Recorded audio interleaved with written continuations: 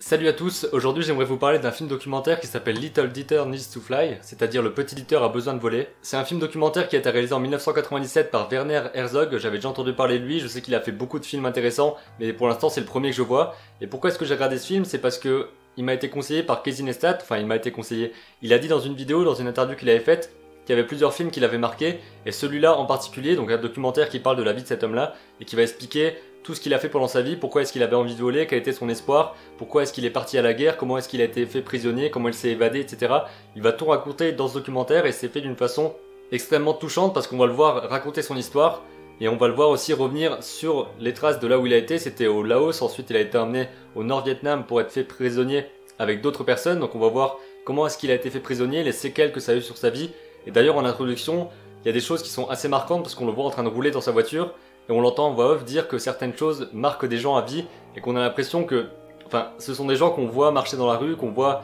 conduire une voiture et on a l'impression qu'ils ont une vie ordinaire alors que finalement non pas du tout. Ils ont vécu des choses assez extraordinaires, assez atroces et ça se voit pas quand on les voit comme ça mais ils sont beaucoup parmi nous. Il y a des personnes qui ont vraiment vécu pendant ces guerres-là, des personnes qui ont vécu ce genre d'événements, qui ont des séquelles psychologiques, des séquelles physiques par rapport à ça. J'ai pas dit son nom complet, il s'appelle Dieter Dengler, c'est un germano-américain et qui est parti à la guerre dans l'US Army en tant que Marines pendant la guerre du Vietnam dans les années 60. Donc ça, c'était en 1966 en particulier, où il a été fait prisonnier et il nous raconte tout ça. Donc ce qui est particulièrement touchant dans ce documentaire, c'est qu'on va voir comment est-ce qu'il a été fait prisonnier. On va voir aussi, parce qu'il y a tout ce qui est le côté horreur de la guerre, mais il y a aussi le côté espoir, le côté rêve, parce que c'est un petit garçon qui avait toujours rêvé de voler, de prendre l'avion et de, de vraiment de s'envoler dans les airs en fait. Et on voit aussi dans le film à quel point il est passionné par ça, il a des maquettes d'avions chez lui, il a gardé des souvenirs de ça, il a aussi une sorte de réconfort lorsqu'il se trouve dans un cockpit d'avion et dit que parfois pour se calmer il se mettait dans un cockpit pour pouvoir dormir tranquillement et se sortir en sécurité parce que c'était le seul endroit où il savait qu'il pouvait s'envoler en cas de problème. Il y a beaucoup de choses qui l'ont beaucoup marqué durant sa vie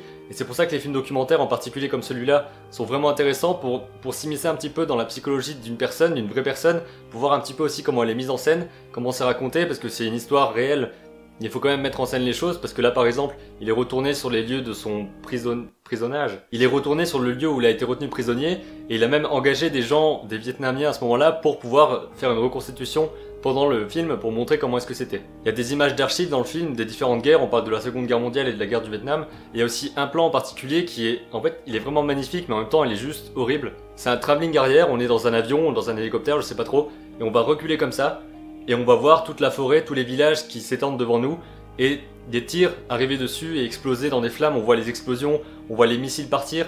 C'est beau en même temps parce qu'il y a un côté feu d'artifice, a un certain moment du plan, on a vraiment l'impression qu'il y a des fusées qui, qui montent en l'air et qui font des explosions comme un feu d'artifice, sauf que là on voit que ça explose et que ça détruit des maisons, etc. Et c'est l'un des plans qui est très marquant dans le film. Donc en tout cas c'est ce que j'en ai retenu à la fin, il y avait un sentiment, parce que ça parle de la guerre, ça parle aussi d'espoir, ça parle de rêve, et ça parle de la vie de cet homme-là finalement. C'est vraiment super intéressant à ce niveau-là. Parce qu'ici on parle de comment raconter des histoires, mais souvent je vous parle d'histoires de fiction, de comment écrire une histoire, comment en imaginer une, comment développer des personnages. Mais les films documentaires m'intéressent aussi beaucoup dans leur aspect plus réel, mais aussi dans la façon de mettre en scène des choses qui sont vraiment arrivées et dans la façon de narrer tout ça au fil d'un film. D'ailleurs, si vous avez des films documentaires qui vous ont intéressé, qui vous ont passionné, qui vous ont choqué ou bouleversé, etc., n'hésitez pas à les mettre dans les commentaires pour que je puisse en voir d'autres parce que j'ai pas vu beaucoup de choses pour l'instant. Je vous mets aussi un lien pour aller voir la bande-annonce du film et voir le film complet parce qu'il est disponible en plusieurs parties sur Dailymotion. Donc je vous mets le lien dans la description pour que vous puissiez aller voir tout ça. Une fois que vous aurez vu le film ou si vous l'avez déjà vu, n'hésitez pas à me laisser un commentaire pour me dire ce que vous en avez pensé, ce que vous en avez retenu,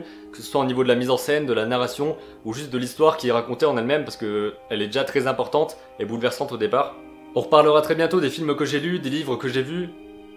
on reparlera très bientôt des films que j'ai vus, des livres que j'ai lus et de toutes les choses que ça peut apporter. Donc c'est pour ça que je vais essayer de vous conseiller un maximum de choses que j'ai vues et qui peuvent être intéressantes. On se retrouve demain à 7h pour la prochaine vidéo et d'ici là comme d'habitude, créez vos images et racontez vos histoires.